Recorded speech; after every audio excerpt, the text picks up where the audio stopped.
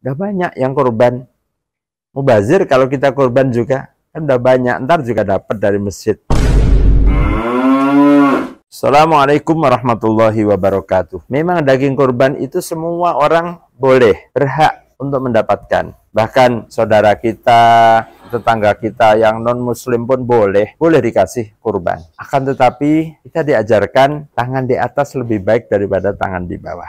Aliyadul ulya khairun minal yadis sufla. Tangan di atas yang memberi, yang berkorban lebih baik daripada tangan di bawah yang menerima. Kita diajarkan oleh Nabi untuk selalu menjadi orang yang tidak mengharap, tetapi adalah orang yang selalu berupaya untuk memberi dan memberi. Nah, berhenti kita untuk berharap karena tangan di atas lebih baik. Anda kalau berkorban pasti juga dapat juga karena orang berkorban punya hak. Dia boleh dan bahkan dianjurkan untuk makan dari daging hewan korbannya. Tapi kalau Anda hanya mengharap atau kita hanya mengharap saja, tidak punya keinginan untuk berkorban, ya kita mungkin hanya dapat dagingnya, tapi nggak dapat pahalanya.